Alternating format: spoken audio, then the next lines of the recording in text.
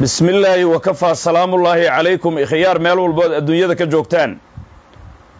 Qoorqoor oo qarxiyey ayaa ciwaan inoo ah. Mar labaad iyo mar saddexaad ku soo dhowaada. Warbaahintiinnii ku bahawday southern media cooperation oo mar walba aad ka heshaan wararka xaqiiqooyinka ah. Siyaasadaha isdiidan iyo kuwa is-ogol ee sara sabaynaya geeska afrika. Ku soo dhowaada soomaaliya. Dalkii la odhan jiray soomaaliya oo xaaladiisu hadhahadha ay tahay taariikhda inta la ogyahay. Ayaanu ku soo qaadan doonaa dhegaystayaasha iyo daawadayaasha qiimaha iyo qaayaal ahow warkeennu ma badna laakiin sheekadu way culus tahay. Ilaahay baa fududayn kara. Waxaan aadi doonnaa marka barnaamijka horaan ka gelaynaa. Qoorqoor waxaa uu qarxiyey hubkii mareexaanku ay qabsadeen. Cidda iska lahayd. Waxayna noqotay sida aan saadaasha sii sheegnay hubkaasi waxaa iska lahaa mahad salaad badankiisa liibaan shuluq oo u dhashay sacad. Xasan sheekh maxamuudna wuu la ogaa. Saasaan idiin sheegnay. Qoorqoorna sidaasuu sheegay maba qarinba. Hub baa loo soo gatuu yidhi si kursi loogu gaaro dhiigga ee shacabka reer galmudug. Xafladdii afar iyo tobanka ee ma arkayse bisha agosto aas-aaska galmudug state ayuu ka sheegay axmed cabdi kaariyo qoorqoor yacni meeshaasi waa uu qarxiyey hubkaasi. Qoorqoor marka geym buu dheelayaa. Qolyaha sacadka la leeyahay waxay heshiis la galeen siciid cabdullaahi deni isagana qalinkuu ugu duugay madaxweynaha puntland. Maxay ku heshiiyeen? Doorashaannu gelaynaa. Inagu taageer bay dheen xasan sheekh maxamuud ayaannu ma arkayse macnihii dhabarka ka jebinaynaa. Waa uu ka oggolaaday wuxuu yidhi waxay dhaheen noo ballanqaad deniyow haddii doorashada aan ku guulaysanno waa doorasho dadban hadda ogow. Doorashada qofkii cad ee qofkii codka xasan uu rabo maahan.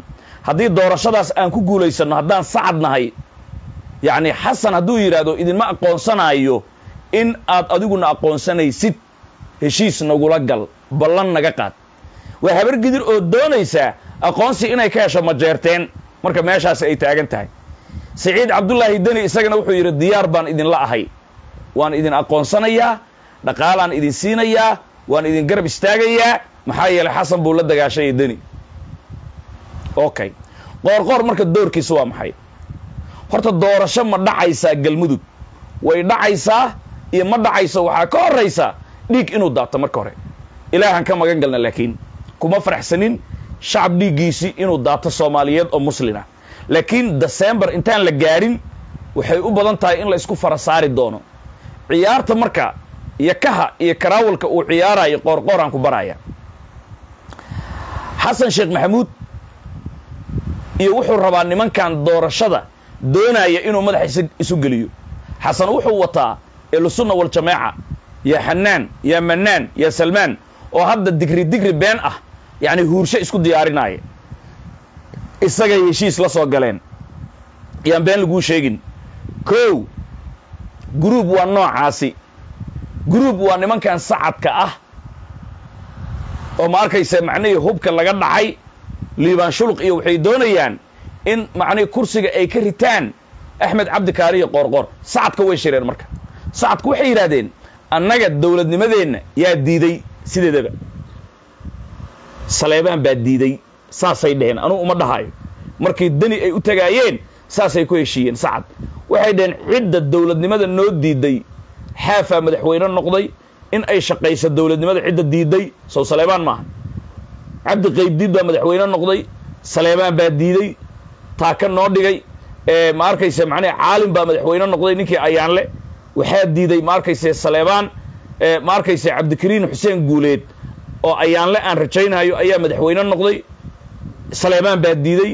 Kiimika oo oo macnihi aas-aaska galmudug lahaa saleebaan baa taaka u dhigay. Xibin iyo xeeb iyo waxaasay ku macnihi ka dul sameeyeen.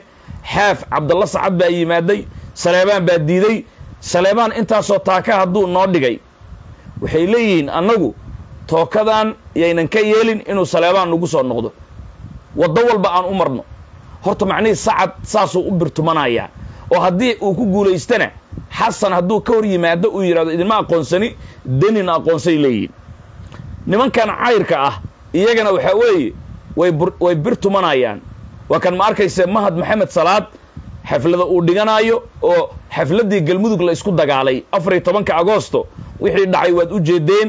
Waxaa la lahaa qoorqoor madaxtooyada ayuu ciidamo ka soo diray oo dharcad ah iyagaa fawdeeyey xafladdii sanad guurada galmudug aas-aaskeeda waa tii ay lahaayeen. Marka sidaasi awgeed horta xafladdana fawdaa ka dhacday. Amaa marka siyaasadda qoorqoor muxuu rabaa?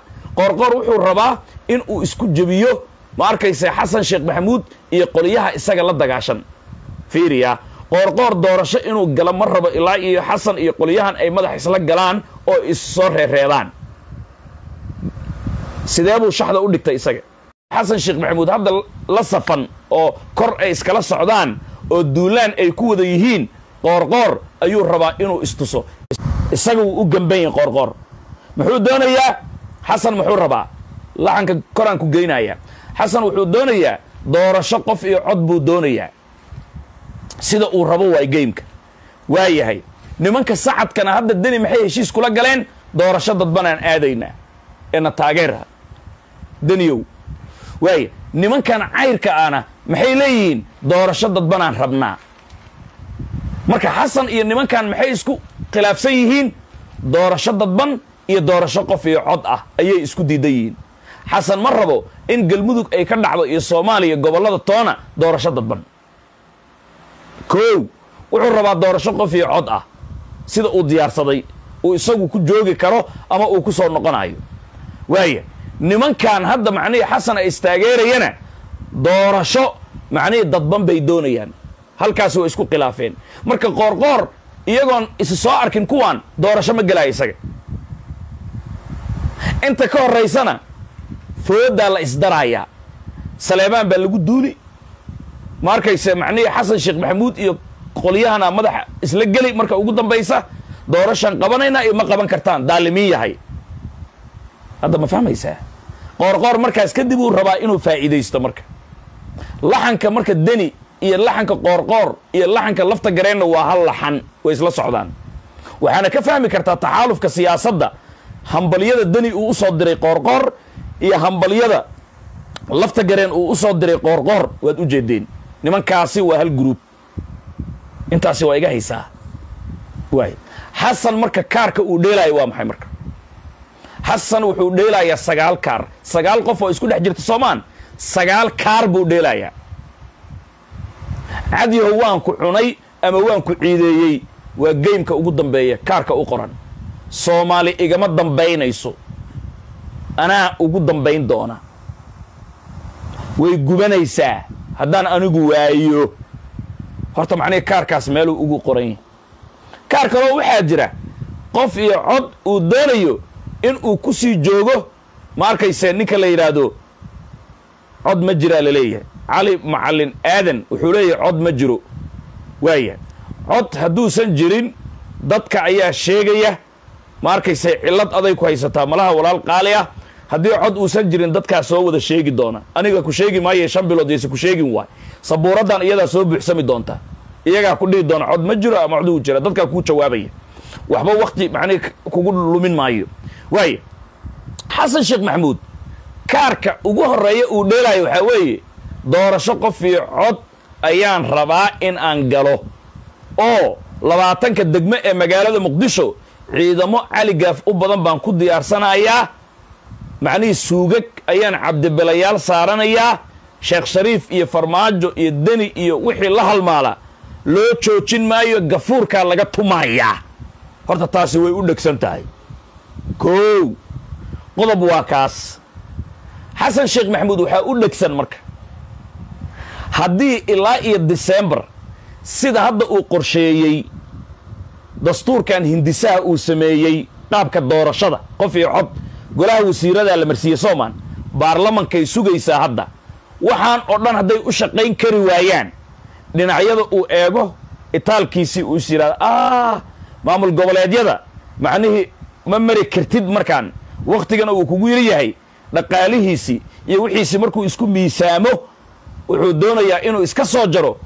Wakhtigu uu na gebagabaynayaa walaalayaal doorasho dadban ayaan hadda sii qabanaynaa. Yacni inta dowlad goboleedyada aan kaga horumarin ayuu rabaa marka inuu isaga kaga hormaro muxuu uga hormarayaa? Guddiga doorashadu la cararayaa markaas waa shul iyo shal markaasi waa vivo oo mortudha talyaaniga ama waa noolaanaya ama waan dhimanaya. Wuuna og yahay doorasho qofii coda wadkiis inay tahay. Siciid cabdulaahi deni xildhibaano uu soo saaray. Lafta gareen xildhibaano uu soo saaray. Axmed madoobe xildhibaano uu soo saaray. Qoorqoor xildhibaano uu soo saaray. Iyo nimankii waqooyi oo xamar lagu kufsaday. Iyo banaadiri oo kuwoodii la sii dhacay. Iyo cali guudlaawe oo u jaakiraya lana safan xasan sheekh maxamuud allahu aclam teeramkii horeba markii farmaajo uu soo baxayay laba boqol iyo maasaada ayaa u dhaaratay beritoole madaxweyne inuu yahay. Subaxiina wuu booyey de isagoo madoobaado meesha ka marka doorashada dadban waa tanfiqi uu leeyahay maraykanka markuu joogay doorashadan dadban wadna qabad bay nagu noqotay naga daaya teendhadaa la dudumiyo.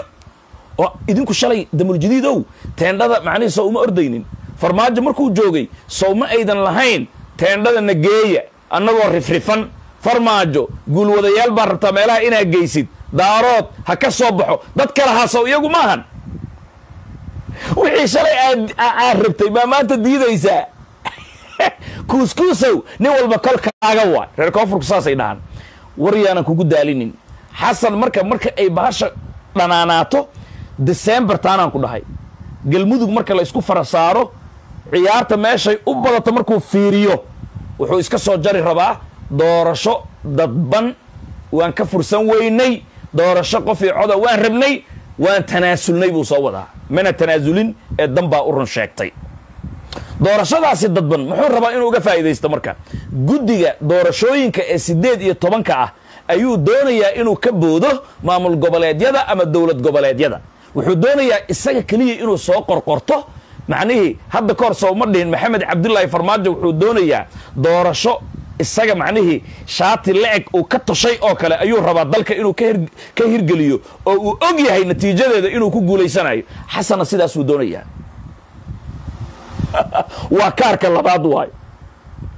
Okay kaarka saddexaad muxuu yahay? Waa kan waxba igama dambaynayaan ah ha kay u macaatuuna qaadan doonaa masaari buu keenayaa.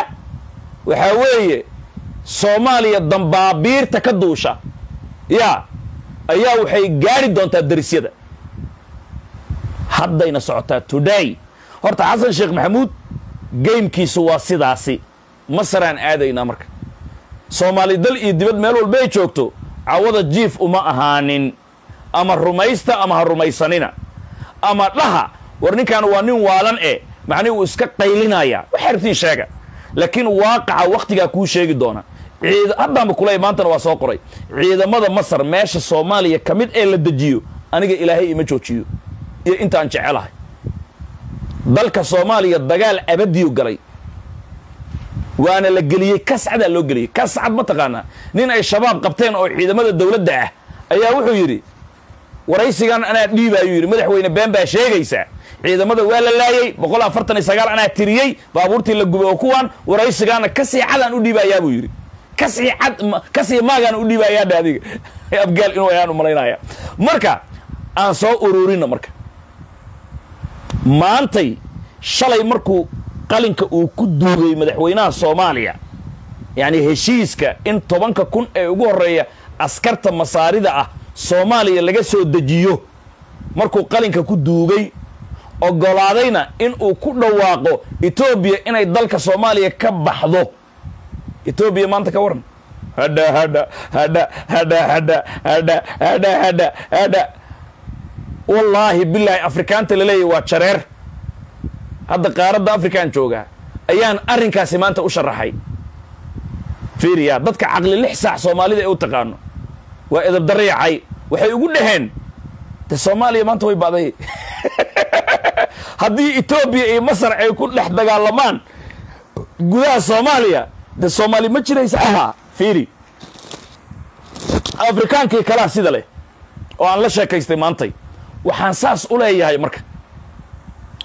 Etoobiya raadeer raadaaradeeda diyaaradihii doroniska ee turkiga ay ka soo gadatay nagorno karabakh armeniya lagu cadaabay yaa oo ugu dambeeyey dunida ay ka qaylisay wixii dayuurada ahaa saldhiggii xirka xaggee isugu keentay maanta. Sheega dee macnihii soomaalida ma og tahay lax dhukan colna moog. Ya abaarna moog lama rabo inaa ahaatid.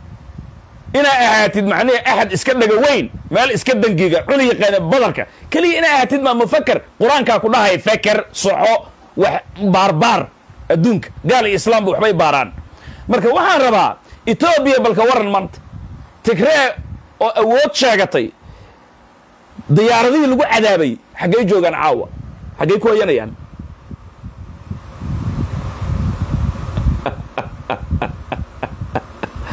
way kula way kula fududdahay ma fududa. Way culus tahay wallaahi ah. Wallaahi way culus tahay. Diyaaradihii macnihii tigreega lagu cadaabay saldhiggii waqooyi oo hubka ugu badnaa ee boqol iyo labaatanka milyan etoobiyaanka ah xaggey caawa joogaan. Bayraktaar hadday timaadda turki kuma jira miyaa xagga? Horaan kuugu sheegay. Waxaan ku dhahay geymkan waxaa wata geele midda hoose korna waxaa ka wata imaaraad. Imaaraad etoobiyana wuu yahay masarna wuu u dheelayaa kabishi kow turkiyana waxaan ku dhahay etoobiya hantida ka taalla waddan afrikaan macnihi uu dhigtay male soomaaliyana saldhiguu ka samaystay laakiin xaggaa dhaqaalo badan. Soomaaliya iyo etoobiya uma kala heelinaayo isaga turki. Gogol buu kuu dhigayaa go'aanka adaa iska leh sidaasuu ku leeyahy waana walaalo wanaagsan sida faad yaasiin uu sheegay waa yahay waxaan u gudbaynaa markaa masar ma ayadaa tiri waan imaanayaa mise noo imow baa la yidhi. Qodobkaasi soomaalida uma cadda haddaan rabaa inaan u caddeeyo. Masar suways kanaalaa laga qaadan rabaa. Haddii macnihii geopolitiga adduunyada aad akhrisaan juqraafi siyaasadeedka. Waayahay biyahan xiriiri. Waxay nafta duldhigaan masaarida. Biyahan webiga niil. Adduunkao dhan uu og yahay. Haddii niilkaasi la yareeyo masar baaba' waayo. Boqol milyanna way dhaafeen. Hadda sida la sheegaayo. Sicir barra waalana waa uu ka jiraa qubuska aad gadanaysaa saf u gelaysaa. Naaw hadda aan kula hadlaayo sambab lama tuuro. Dhiigga waa la fariisiiyaa soomaaliya sambabka ma la tuura mise waa la cunaa? Dad dheragsan waay. Soomaalida sambab lama tuuro. Waa yahay masar may la dagaa may may kula dagaasha etoobiya iyadoo dalkeedii joogta suudaan milatariga ka dhisan dowladda hadda burhaan iyadaa maalgelisaye may xagga soo marto. Etoobiyana waa tii janjawiid soomaali ay taageertay xametati ma rabo. Maxaa jira dad i dhammaanaya oo dhug aan lahayn dhoohan oo wejigooda dabaal ku dhigdhigan ayaanba haystaaye waaya maadaama ay sidaasi tahay etoobiya masar iyadaa lacag dhiibtay lacagtana imaaraadkaa u soo dhiibay. Lacag iyadu ay bixinaysa maahan. Xasan sheekh maxamuud iyo tiimkan fiiri dulaalka waa geelle geelana soomaaliya inay degto ma rabo. Badda ma xagga u fadhidaan haa kaalaya ciidamaan ma geynaynaa. Jalla daarood iyo jalla doorasho iyo jalla digil iyo mirifle iyo waxaasoo dhan ka bax adiga maxaa doorasho ku geey adiga? Baashaan qasniyow ama xoog ku qabso ama ha olosho yaan lagaaga dambaynin. Warka ma ku dhacay. Lacagta imaaraadkaa soo dhiibay. Lacagta waa midda hadda kor aan kuu sheegayni meeshaanaan ka sheegay bilooyin ka hor. Macnihii lacagta waxaa laga dhigay deeqaa laga dhigay in mashaariic lagu horumarinaayo carabaha markay wax ku siinayaan oo mishin ay rabaan inay fuliyaan hadda hubaa lagu gadaa lagu dhihi maayo waxaa leeyahay horumarinta mashaariicda iskuulaadka dhadhadha hadda damuljidi markay rabaan inay wax dhacaan maxay sameeyaan?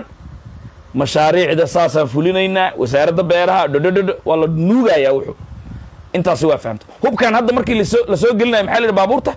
Qamadi baad qaadaysaan. Fiiri qamadi laga soo qaadaya etoobiya waa la geyn jiray oo soomaaliya macaawino u soo wada sirdoon qamadi soo gelbinaya weligaa ma aragta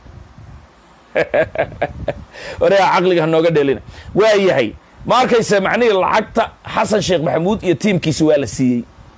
Waxaa lagu siiyey in ay saxiixaan ciidamada etoob ee masar in soomaaliya la keeno. Magaca admis ay ku socdaan allah aasam wax kama jiraan waaye. Laakiin shaqada ay u socdaan waa kaa dantooda waay masar marka inay dhimato ma rabto in loo dhintay rabtaa etoobiya marka maxay taagan tahay? Etoobiya maanta taliyaha milatariga ugu sarreeya muxuu yidhi? Yaa haddii admis magaca laga beddelaayo oo aasam loo bixinaayo waa in aan qayb ka ahnaa waa qasab. Talada waa inaan wax ku yeelannaa. Haddaynan ka raalli ahayn it can't be ma dhici karaso. Etoobiya horaan maxay ku dhacday xasan meelaha ka qayliyo. Dalku waa federaal annagu dadka reer mayland lixdaasi gobol iyo hiiraan ayaana ogol heshiisna waa kula jirnaa boqolkiiba lixdanna dalka annagaa hadda hayna. Muqdisho hadday rabto kor ha u dhuusto. Hadday rabto dowladda ha burburto. Dowladda hadda xamar joogta nafsadeeda calanka annagaa villa soomaaliya geynay dhiiggeennaa ku baxay dheheen. Waana runtood. Marka runta loo hadlo soomaali dhowr iyo toban sano iyadoo dowladnimada macnihii ay calanka villa soomaaliya ay geyn weyday. Cabdiqaasin oo cabsiyo cayr ah oo weliba dadkiisu ay xamar markaasi haystaan sida maanta aanay ahayn ayay dowladnimadiisu ka shaqayn weyday oo loo diiday ex control inuu bilidoogla ka dhoof. Iyagaa haystay markaasi. So ma jeedid macnihii terabuunka ayaa isbaara loo dhigtay madaxtooyadaa loo diiday. Waa kan madaxtooyada cabdiqaasin hadda loo yaqaano labar afar iyo terabuunka inta u dhaxaysa ma arkaysa macnihii uu madaxtooye ka dhistay. Intaasi waad haysaa. Rediyow muqdishow oo dowladda afka carta ku hadlaysay anaa imtixaan u galay waana ku guulaystay. Laakiin beesadii aan qaadan waayey. Bikaas xiisaddii waxaan qaadanayay konton dollar. Waxay ugu dheheen maalintii o dhan konton dollar ku shaqee. Soddon daqiiqaan konton dollar qaadanaya markaa ma fahmaysaa? Marka madaxtooyada hadda meeshay ku taallo waad aragteen. Xataa cabdiqaasin cali mahdi haddii la yidhi cali nagarle waa habgaal iyo habargidir yacni cabdiqaasin oo habargidira loo diiday madaxtooyada. Madaxtooyadii soomaali loo diiday habargidir xataa loo diiday abgaal loo diiday dowladnimada annagaa geynay ayuu yidhi taliyaha milatariga etoobiya maahan waa dhulka soomaaliyeed waay waxaan rajaynayaa mustafa xajar waad aragteen maantay. Mise been baan sheegayaa way soo guurtay etoobiya marka arrinta inay serious tahay meeshaasaad ka aragtaa waayahay waxaanu la xansaaraynaa etoobiya iyo masar hadday isdagaalaan oo gudaha soomaaliya isku dagaalaan reer galbeedka masar miyay raacayaan mise etoobiya ayay raacayaan? Hadday kululaato taasaan la xansaaraynaa okay reer galbeedku masar waxay ku ilaashadaan yuhuudda ama israa'iil sow ma ahan haa ee etoobiyana geeska afrika. Reer galbeedkayay raacayaan. Ee masar waa daraad briksay aadaybe diyaarado labaatan ruushay soo gadatay. Waa tii la yidhi ha laga reebo. Qamadigana maraykan baa siiyee. Oo ciidanka macnihi miisaaniyadda ku kabee see camal masar macnihii reer galbeedkay la socotaa. Dood way dhihi kartaa haddee masar macnihii keliya briks ma aadine etoobiyana dalabay gudbisatay briks sacuudina dalabuu xataa gudbistay. Hadday kululaato. Runtaan kuu sheegayaa yah reer galbeedka etoobiyay raacayaan. Man daliil? Maxaa daliil u ah? Labada kun iyo lixdii markii indhacadde terabuunka intuu ardada isu keenay uu lahaa adisababaan ku tukanaynaa. Toddoba maalmood gudahooda etoobiya ma u n ka warqad ay ka soo qaadatay. Say ku soo gashay. Wax la yidhaahdo self defense. Waan isdifaacayaa bay dhahday. Waa la ii hanjabay. Adisababa caasimadaydaa loo soo socdaa dal darisaa igu soo duulaaya argixiso.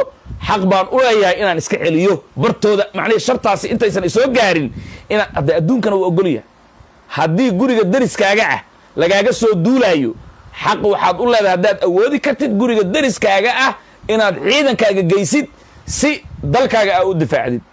Difaacu nafsi allaha qaanuun waaye dawliga adduunyada.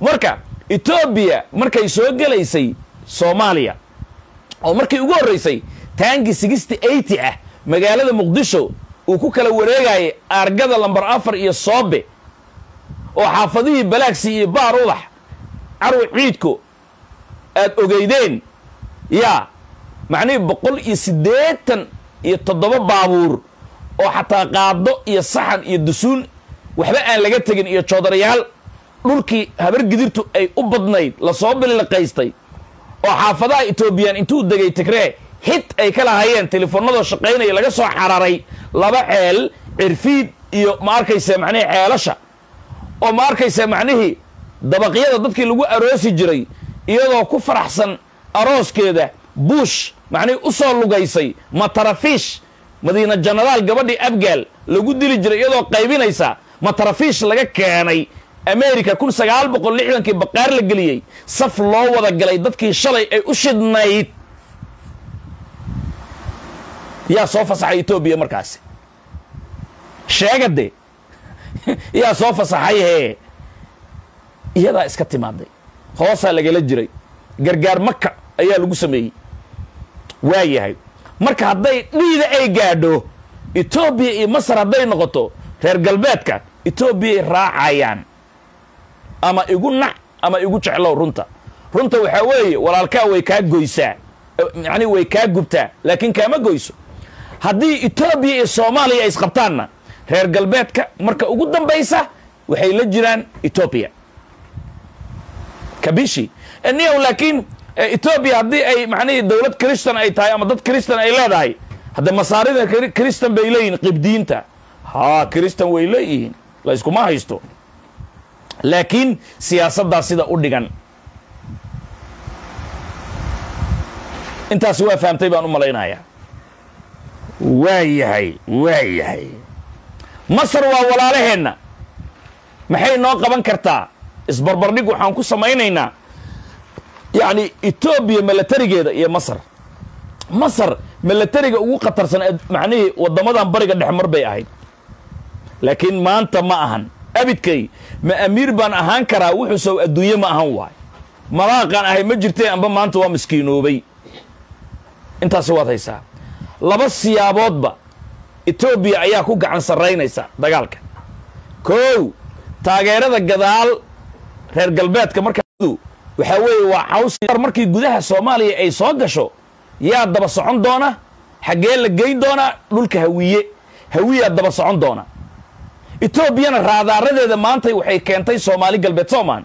Okay hawiye waxay dhihi doonaan nagu dhaqaaji dhulka etoobiyaanka uu ka dhow yahay.